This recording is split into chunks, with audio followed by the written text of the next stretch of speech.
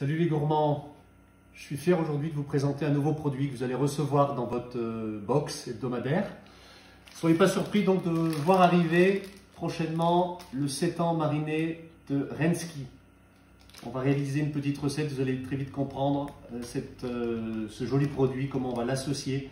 Très simplement, l'idée c'est de passer ce qu'on a tous dans le frigo pour réaliser une petite recette facile, simple et pas cher, et surtout euh, de saison, j'ai envie de dire. Voilà. On est parti donc.